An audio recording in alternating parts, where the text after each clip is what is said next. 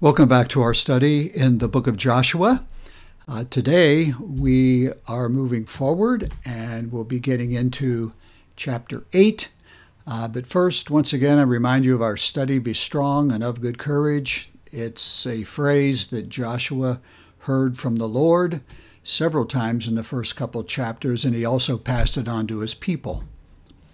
Today we are looking at a chapter entitled Rematch. This is the response to the defeat uh, at Ai, and they Joshua had a problem. Israel had a problem, and it occurred back in the Battle of Jericho. Uh, God had told them, "You don't take anything except uh, the gold and the silver. You bring it for the Lord.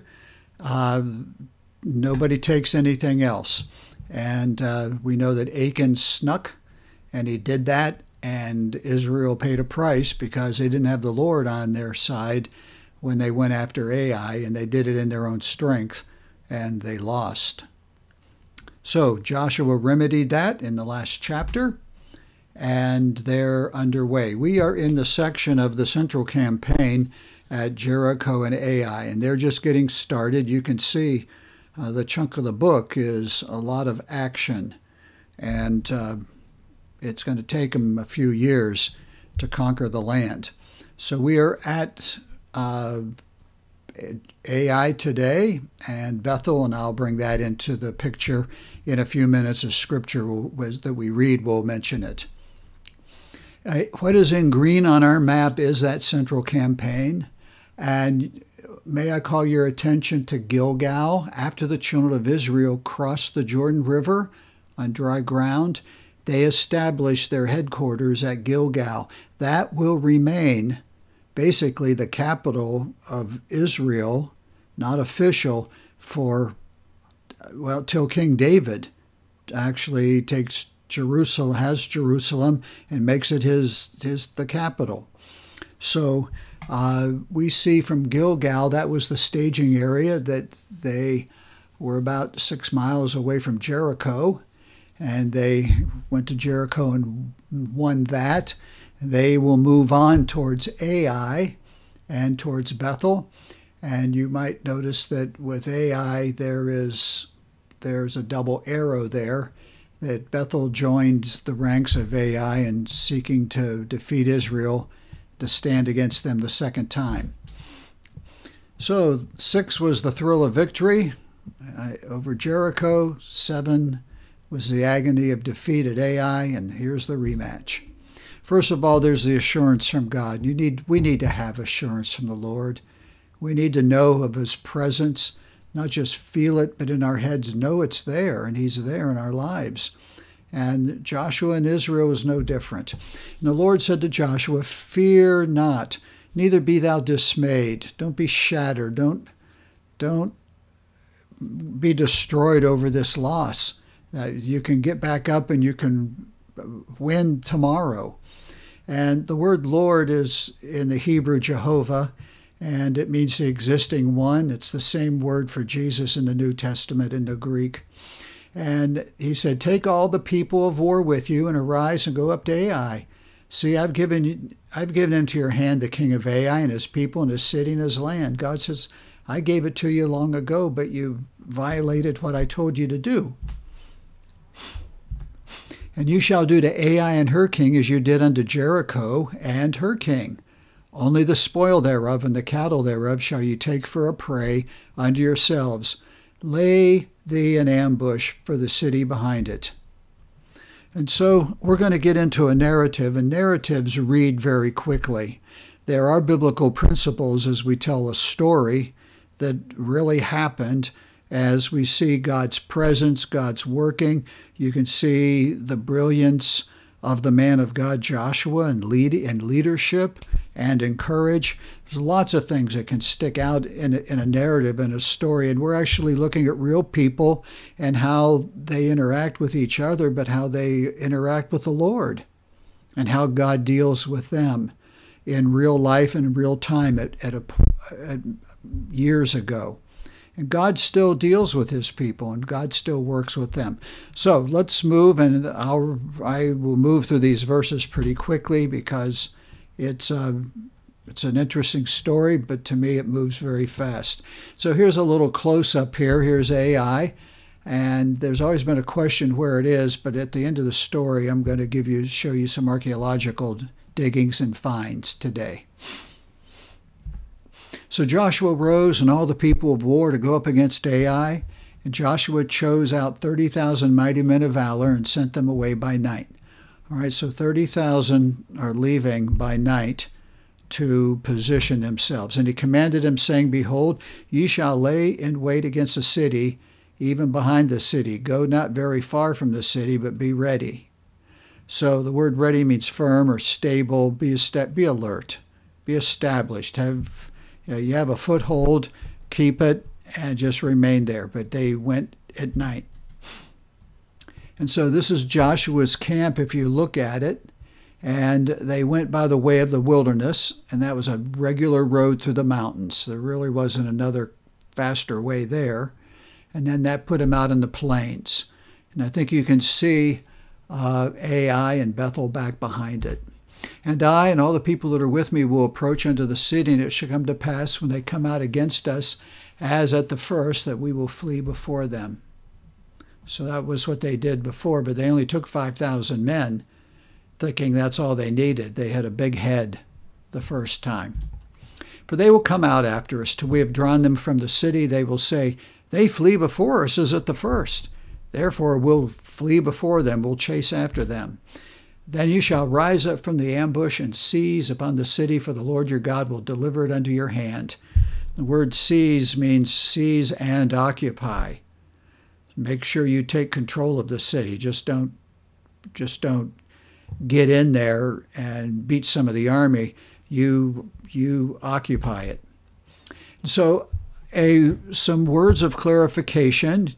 Um, along the way of the wilderness, do you see under the city of Ai, do you see the word ambush? There's a large hill, a bunker, and it's it's big enough from behind that anybody from coming up from behind does not know that they're there. And so with Ai, the Joshua will, will establish his camp uh, on the north side of Ai, and it's pretty north where that is. But over on the southwest or over on the west side, you can see the ambush uh, portion of the army will be there. And the little, the first arrow that points at Ai is after Joshua's getting chased and the people, which is that return arrow, then they will head into Ai, which is has no defense basically, and take it, burn it, and then they'll come with that blue green arrow towards the red. That's the action. And so what they've done is they've put Ai in between, and they will kill the army off. The city having already been theirs, and it's burning. And it shall be when you have taken the city that you shall set the city on fire according to the commandment of the Lord, shall you do. See, I have commanded you. A lot of this narrative is going to repeat because here's the instructions, and it'll talk about them carrying it out. Joshua therefore sent them forth, and they went to lie in ambush and abode between Bethel and Ai on the west side of Ai. But Joshua lodged that night among the people upon his camp that said Joshua. Lodged meant to spend the night. And Joshua rose up early in the morning and numbered the people and went up, he and the elders of Israel, before the people of Ai. And all the people, even the people of war that were with him, went up and drew nigh and came before the city and pitched on the north side of Ai. Now there was a valley between them and Ai. Again, pitched is encamped. And we've already discussed this where the big blue area arrow is. There's Joshua's camp. And he took about 5,000 men and set them to lie in ambush between Bethel and Ai. So at this point in the night, he sends the 5,000 back behind uh, on the other side into the valley on the west side. And when he had set the people, even all the host that was on the north of the city, and their liers in wait, or those lying in wait on the west of the city, the ambush, Joshua went that night into the midst of the valley. And it came to pass when the king of Ai saw it, so Joshua wanted to be seen now in the army, that they hastened and rose up early, and the men of the city went out against Israel to battle, he and his people at a time appointed, before the plain, but he knew not that there were liers in ambush against him behind the city. And Joshua and all Israel made as if they were beaten before them and fled by the way of the wilderness. In our, in our English, that would be capitalized because that was a major highway, way of the wilderness. And this is the main road that Israel came from Joshua, and they fled before. And so they started fleeing on the way to the wilderness, again, that road, uh, as the decoy army. And all the people that were in Ai were called together to pursue after them, and they pursued after Joshua and were drawn away from the city. And there was not a man left in Ai or Bethel that went not out after Israel. And they left the city open and pursued after Israel. Now all of a sudden Bethel gets added into him uh, into this, and they're helping out. And the Lord said to Joshua, Stretch out the spear that is in your hand toward Ai, for I'll give it into your hand. And Joshua stretched out the spear that he had in his hand toward the city. And the ambush rose quickly. That was a signal out of their place. And they ran as soon as he had stretched out his hand with the spear. And they entered into the city and took it and hastened and set the city on fire. When the men of Ai looked behind them, they saw, and behold, the smoke of the city ascended up to heaven, and they had no power to flee this way or that. They were boxed in by hills on either side and an army on north and south. And the people that fled to the wilderness turned back upon the pursuers. So Joshua's people, army, as planned, stopped and turned and fought. And when Joshua and all of Israel saw that the ambush had taken the city, and that the smoke of the city ascended, then they turned again and slew the men of Ai. And the other issued out of the city against them, so they were in the midst of Israel, or sandwiched, some on this side and some on that side, and they smote them so that they let none of them remain or escape. And here's the aftermath. And the king of Ai they took alive and brought him to Joshua.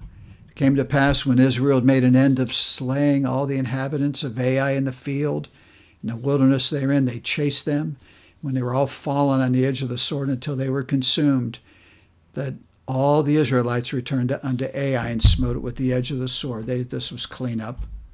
And so it was that all that fell that day, both men and women, were 12,000, even all the men of Ai. For Joshua drew not his hand back, wherewith he stretched out the spear, until he utterly had destroyed all the inhabitants of Ai. Only the cattle and the spoil of that city Israel took for a prey unto themselves, according unto the word of the Lord, which he commanded Joshua. So here they could take things, but before in Jericho they could not. So they listened to what the Lord had to say, and you, they could obey, they could take and do what God said. Joshua burned Ai and made it a heap. The word heap, a heap of ruins or a mound forever even a desolation to this day, and it was until a few decades ago. And the king of Ai he hanged on a tree until eventide. And as soon as the sun was down, Joshua commanded they should take his carcass down from the tree and cast it at the entering of the gate of the city, and raise thereon a great heap of stones that remains unto this day. Just a, a word of, of note and of interest. Um, the Lord told Moses, and it was commanded in the law that if that any kind of executions, or for instance a hanging, you did not leave a dead body hanging to the next day. That at sundown was the longest you could, and you had to take it down. This was true of Jesus Christ.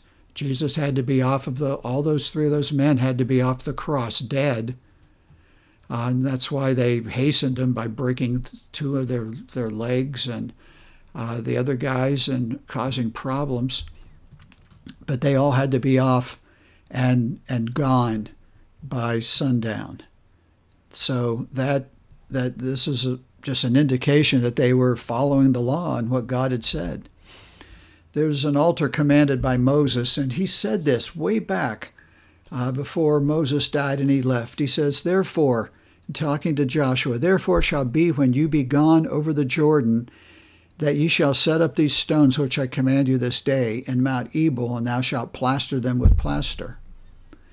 Okay, so he's talking about you're going to put the law there and put it in between. It's going to be between two mountains and a, and a passageway for people that they'll always remember. They'll go by this and say, "What what is this?" And people would explain to them.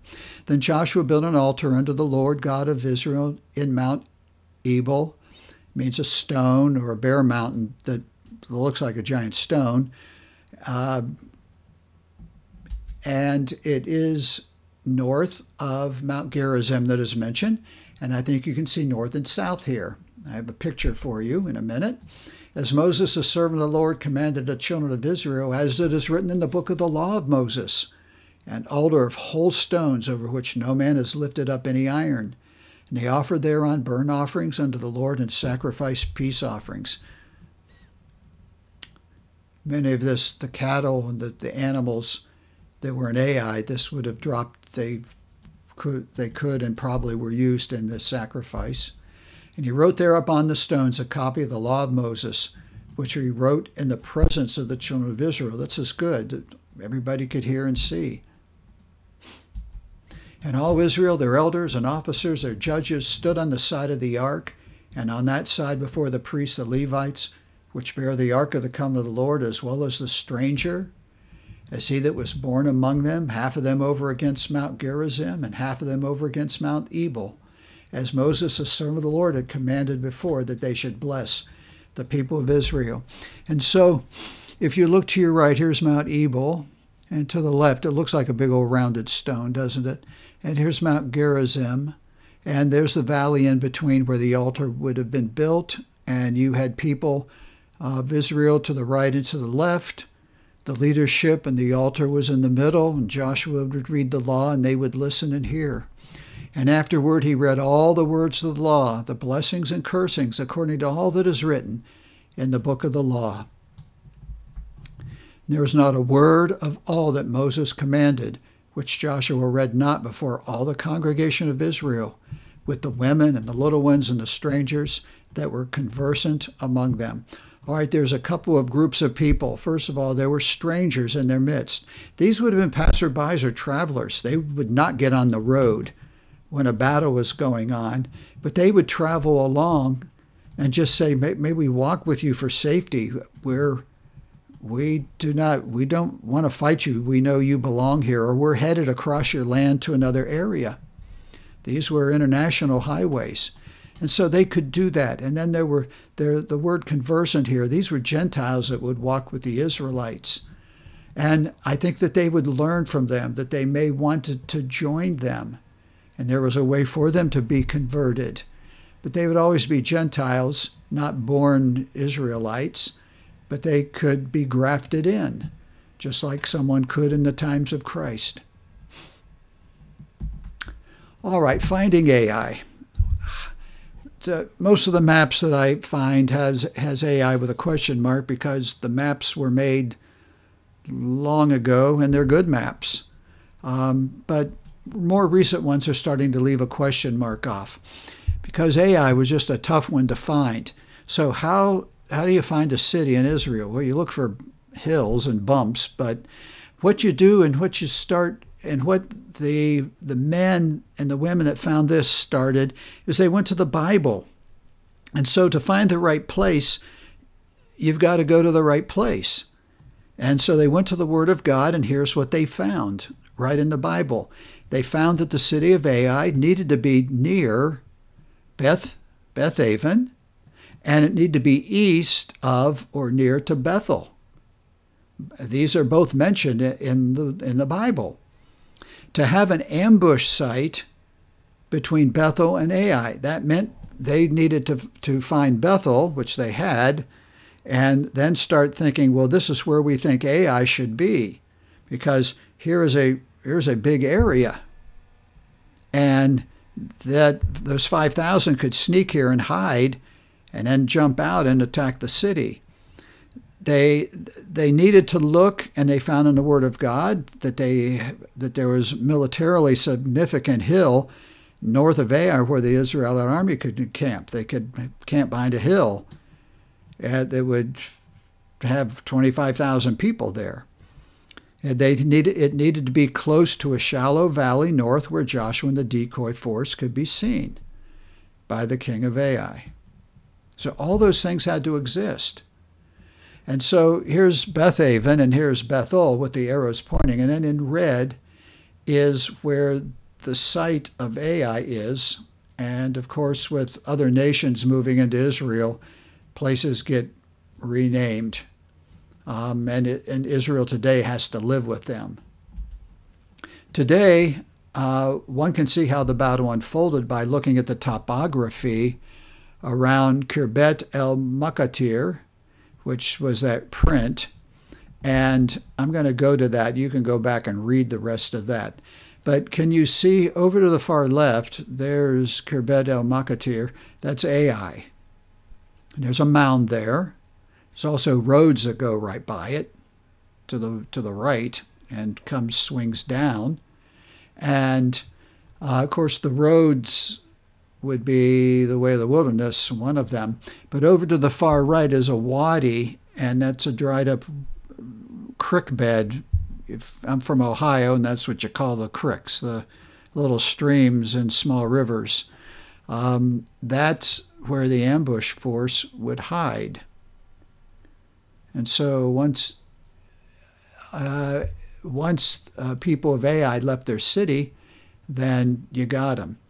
Okay, what happened is that we're looking, um, we should be looking east, uh, straight across, and north is left and south is right. How to know when you find it. So, how do you find, how do you know that you're there if you found a city? If you get the right place from the right place, then you're going to find some right stuff from the from the right place. So there there were fortification walls. Joshua calls them the Bible calls them fortified places. That means their walls they make them really thick, and oftentimes they can dig them deeper and build them higher. There needs to be a main gate facing north because that's implied in Joshua 8:11. It's a relatively small site and if it's a city where people live, there has to be the presence of women. And you say, well, that's a given, isn't it? No, it's not. Because towns, oftentimes, a town would be built as, a, as an outpost. And you would put your army out there. And it, was it would just serve as, as the first defense of an invading army or forces. And then those were coming and they could send riders uh, and and get help. And so they would build these fortresses around, and people might say, well, Ai was just one of them. Okay, so that's why they'd make the statement there needs to be a presence of women. And so the excavations of Khirbet el Makatir have revealed us a small border fortress dating back to the middle and what archaeologists call the Bronze Ages. It's about two and a half acres and that's about the size of Ai. And there were fortification walls on the north and west side. They were 15 feet, 13 feet wide. And uh, there was a four chambered gate that has been unearthed. And two of the gate socket stones were discovered right by the gate passageway. Others were found nearby. So let's look at some pictures. Here's one of the socket stones that they would cut, and it would go down into the ground and then the iron rods would secure the gate into that. It would swing. Of course, it would creak a lot, but they would build these thick, heavy, and put them in deep and solid so that that wasn't that that wasn't a weakness in your city wall. And they, this is a little bit more of their diggings that they've come up with.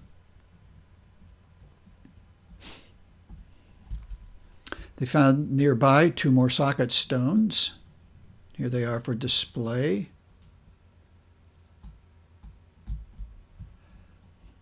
And here's a fun picture of them digging. Yay.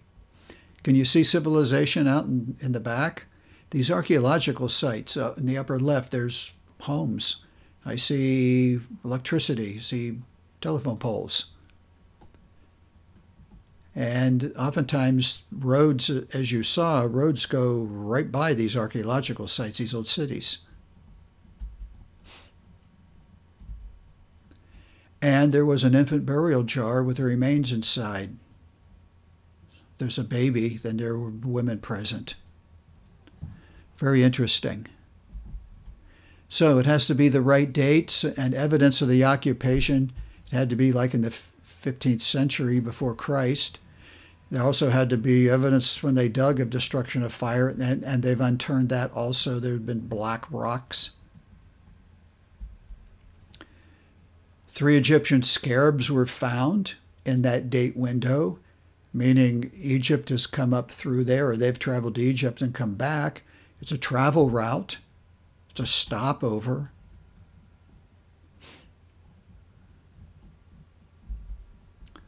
And here's what a computer is is pretty well built the city to be and to be look like to look like. It was not massive, it was not big. Keep in mind, people would live in the city, business would be done in the city at the city gates. But the farming and the animals and all that, that would be on the outskirts. They lived on a plain. They had hill country. But if they knew they were in militarily danger, all the people would come in come into the city. And all the men basically would become part of the army. In the case of Ai, the only ancient text with information about the site is the Bible. And Khirbet el Makatir is the only site that meets all the biblical criteria, it has the right stuff, the right place, at the right time. And so we probably can say right on. So I close with how to win. So it always needs to be a takeaway. And this is all about what caused them to lose Ai to start with. And it's a good reflection on our life because these are these are quotes out of the Bible. Um, you know, when we, we get we get away from the blessing of the Lord and we lose sight of God and we wonder where God is, we need to look at ourselves and and Israel and Joshua saw their sin. They looked at it and said, Lord, we have sinned against you. We have not done right. And we don't know who did this, but point them out, and they did, and we'll take care of it. And so they, they saw who they were, and they, they saw where they failed, where they'd sinned against the Lord. And when, when Achan was found and his family, Achan confessed that, but Joshua and the priests and the Israel needed to confess that sin before the Lord. And Israel, when they attacked Ai the first time, they Israel determined the size of the army, saying, "This is a small city. We can knock these guys off with five thousand people," and they didn't. They lost. And when we confess our sin, we have an opportunity to give our life anew to the Lord. Start all over because we find forgiveness there. This is not about being saved, and there must be there there is forgiveness received of the Lord for all of our sin when we receive Jesus Christ as our Savior. But then uh, we in our life as we go are not perfect. And we see flaws in Joshua and we see flaws in Israel along the way. And we need to understand that we can find forgiveness. So we, we see our sin, we confess our sin, we give our life anew to the Lord, get up and get going again for God, just like Joshua and the children of Israel did. I want to thank you for being with us today. If I can be of any help to you, this is my email address. I'll be glad to send you a hard copy of the lesson. Father, thank you for the example of Joshua and Israel again in this chapter and just the power of God that was given to them and that they could see and that they could live. Thank you for their example. In Jesus' name we pray, amen. God bless you all.